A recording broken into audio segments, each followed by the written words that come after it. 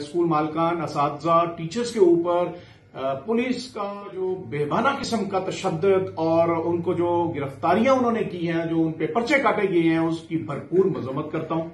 ये तालीम दानों के साथ एक ये इंतहाई अफसोसनाक खबर है। हमारी वहाँ माए बहने बेटियाँ बैठी थी हमारे फैमिलीज़ के वहाँ पे बच्चे भी वो अपने साथ उस धरने में लाए थे और अपने हक की खातर वो बात कर रहे थे जो कि उनका आईनी हक है जो उनको जो तालीम का हक मांग रहे हैं उन बच्चों के लिए उनके पैसे बंद कर दिए हुए हैं जिससे बहुत से बच्चे जो है तालीम के जेवर से महरूम हो चुके हैं।